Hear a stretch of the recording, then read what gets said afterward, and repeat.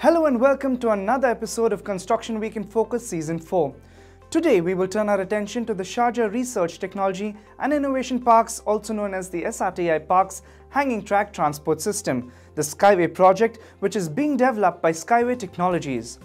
We're also going to give you an overview of the latest developments on how this system could change the way transportation in the Middle East and across the globe could be revolutionized in a few years.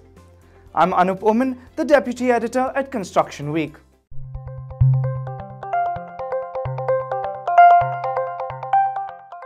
The SRTI Park's hanging track transport system, the Skyway project, has completed 80% of Phase 1 and has begun Phase 2 of development. The urban transport concept and technology, which is being tested in Sharjah before being marketed on a global scale, aims to cover a 2.8 kilometer stretch from the Sharjah Airport Road to the University City Road. This will involve driverless pods called unicars transporting passengers and cargo on cables suspended across the elevated corridors. Phase 1 of the Skyway project witnessed the development of a 400 meter long elevated string track and Skyway stations to transport passengers. The initial stage witnessed the development of unicars designed for four people. However, each of these unicars can also be designed for anywhere between 2 to 80 people. What makes this transport useful is also the fact that as the population of the smart city increases, more pods or bigger pods can correspondingly be added to the same network of elevated string transport without the need of disrupting the flow of traffic.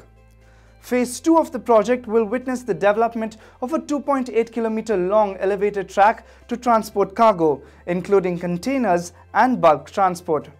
The project will undergo government tests and standardization processes before it enters Phase 3, which will involve the development of a single elevated track that will be able to accommodate both cargo and passengers. The project is more energy efficient, more cost effective, and a faster means of transport than what currently exists in the market. It will have a capacity of running up to 150 kilometers. Since the construction of the Skyway project involves strings suspended across slender columns, it will also add to the visual lightness of a smart city rather than creating the concrete jungles as done by other traditional means of transport. The use of less material such as concrete also results in considerable cost savings in construction. For more about innovative projects taking place at SRTI Park or to catch the latest developments on other major GCC construction projects and tenders, visit our news website constructionweekonline.com. Thank you for watching and until next time, goodbye.